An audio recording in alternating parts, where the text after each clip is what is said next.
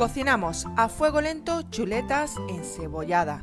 Los ingredientes lo puede encontrar al final del vídeo o en la cajita de información. No olvides después de ver el vídeo darle a me gusta, suscribirte y darle a la campanita para no perderte ninguna de mis recetas. Estar atentos porque después de este vídeo os doy otra fantástica receta que os va a sorprender para que hagáis en vuestra olla de cocción lenta. Lo primero que tenemos que hacer es salpimentar nuestras chuletas.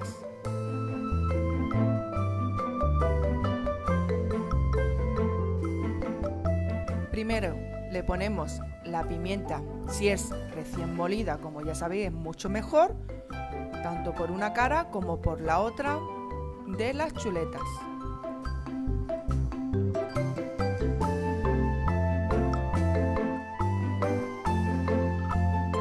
Luego hacemos lo mismo, pero esta vez con sal. Le ponemos tanto por una cara o por otra eh, la sal una sartén vamos a poner eh, aceite de oliva, un buen chorreón de aceite de oliva y vamos a sellar nuestras chuletas. Vamos a coger y vamos a dorarlas simplemente.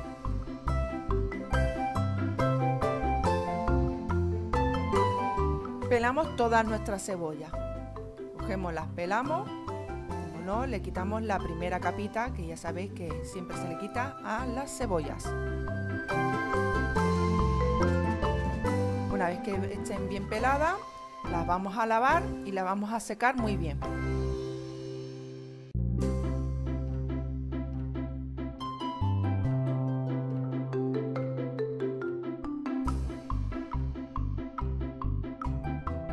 Ya hayamos lavado y secado muy bien nuestra cebolla, ahora toca cortarlas en rodajitas como estáis viendo cuidado de no cortaros, por favor.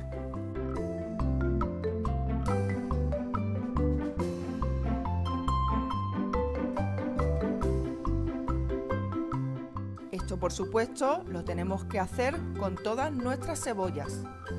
Contra más cebolla mejor, os lo digo, que luego yo me arrepentí de no haberle echado más cebolla.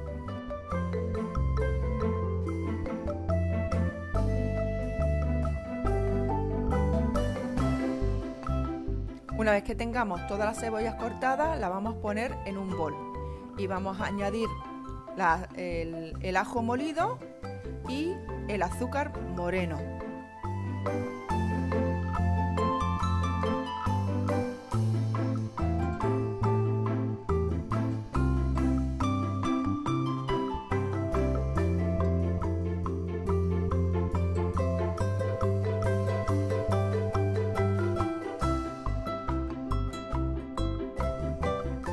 Tengamos estos dos ingredientes, pues lo único que tenemos que hacer es mezclarlo muy bien y soltar esas cebollas que están todavía juntas para que estén bien sueltecitas todas.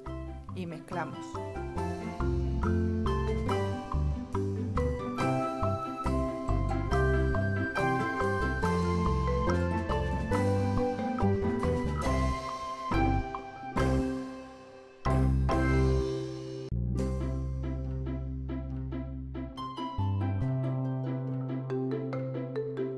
Ponemos en el fondo de la olla de cocción lenta la mitad de la cebolla.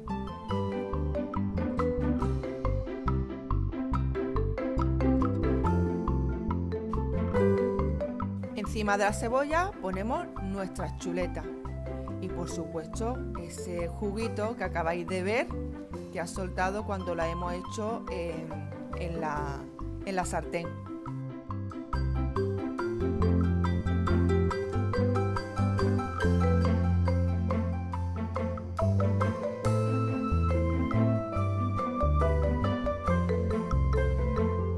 Cuando ya tengamos todas nuestras chuletas, echamos la otra mitad que nos queda de la cebolla. Encima de la cebolla y de las chuletas vamos a colocar las cucharadas de, mantequilla.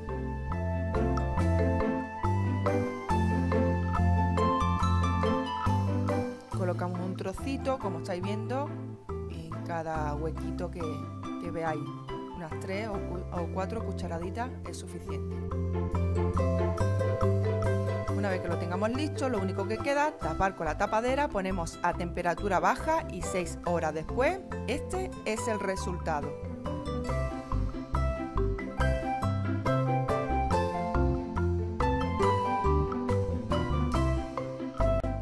Y aquí tenéis listas estas chuletas encebolladas. Mirad qué cosa más rica. Y esas cebollas os digo que están de muerte. Puedes acompañarla con unas patatas fritas y tienes un menú de lujo.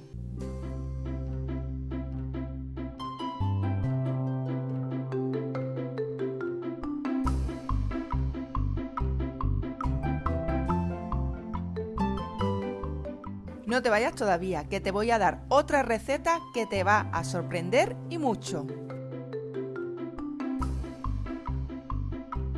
Cocinamos a fuego lento pinchitos de pollo con patatas. Los ingredientes los puedes encontrar al final del vídeo o en la cajita de información. No olvides después de ver el vídeo darle a me gusta, suscribirte y darle a la campanita para no perderte ninguna de mis recetas. Las patatas que vamos a utilizar son de guarnición.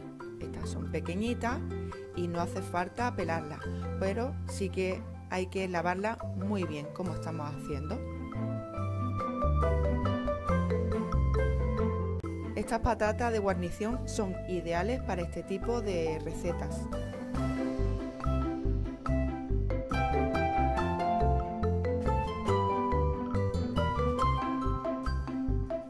Una vez que la hayamos lavado bien, ahora la vamos a secar. Cogemos un papel de cocina y vamos secándolo muy bien.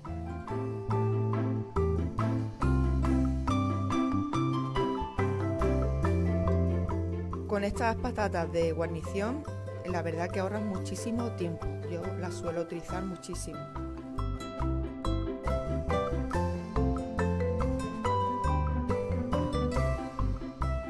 Una vez que tengamos todas las patatas bien lavadas y secadas, vamos a cortarlas en cuartos.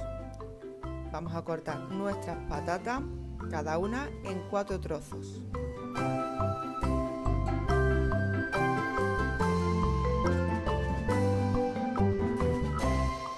Esto, por supuesto, como estáis viendo, vamos a hacerlas con todas las patatas.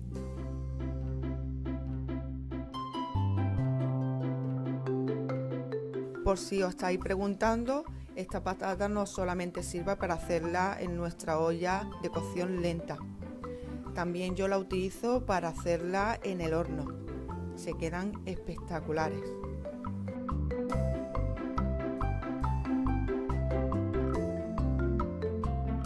Si os estáis preguntando dónde las podéis conseguir, en cualquier centro comercial ya las vende. Las venden en saquito, en su red y ponen patatas de guarnición.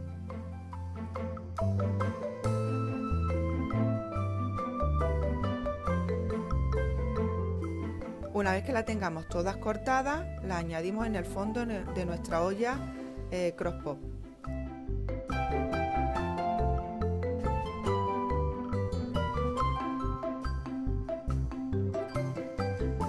Le ponemos un poquito de sal y las mezclamos bien.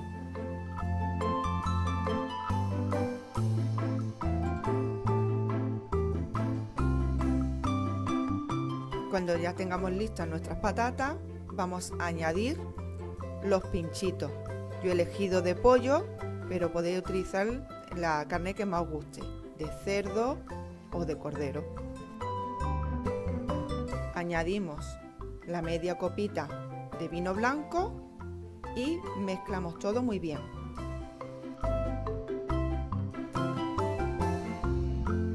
Esto es muy importante para que las especias de los pinchitos se mezcle bien con, las patatas, ¿vale?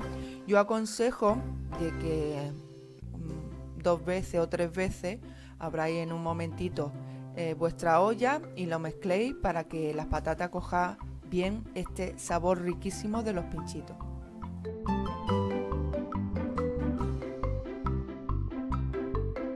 Como ya os he dicho, es súper fácil de hacer.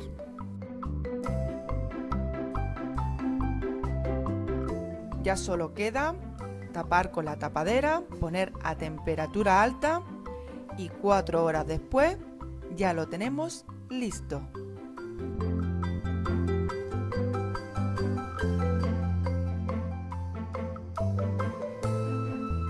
Mirad, aquí tenemos ya nuestra receta emplatada. Hemos hecho dos platos en uno. Tenemos por una parte nuestros pinchitos, nuestra carne y por otra la guarnición, nuestras patatas. No podéis quejar. Dos platos en uno. Aquí tenéis los ingredientes para hacer la receta de pinchitos de pollo con patatas. Dos recetas que hemos hecho en una. Primero los pinchitos y con su guarnición de patata. Vamos, una maravilla.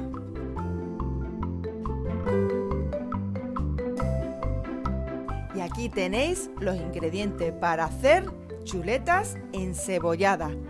Si te ha gustado mi receta, regálame un like. Me encantaría leer tu comentario y no olvides suscribirte y darle a la campanita para no perderte ninguna de mis recetas. No te pierdas nada de cocinando a fuego lento. Sígueme en todas las redes sociales. Los enlaces los tienes en la cajita de información.